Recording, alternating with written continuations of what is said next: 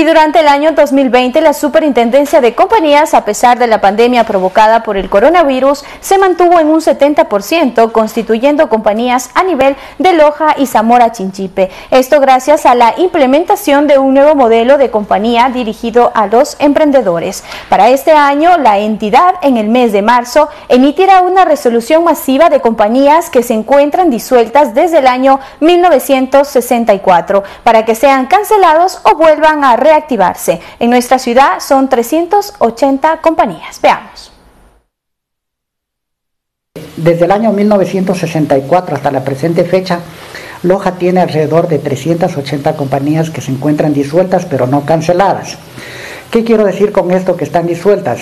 Que si bien es cierto, las compañías están, se puede decir, eh, en el aire, eh, no se encuentran canceladas definitivamente y esto les está generando a muchos empresarios ciertas, eh, ciertas erogaciones económicas.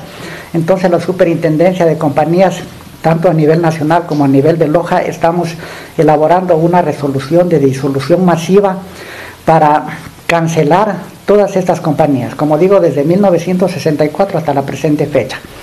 Estamos elaborando una resolución a nivel local y a nivel nacional en la que queremos que estas compañías, si es que por haber razones tienen algún valor económico, queremos este, que, no paguen ese valor económico.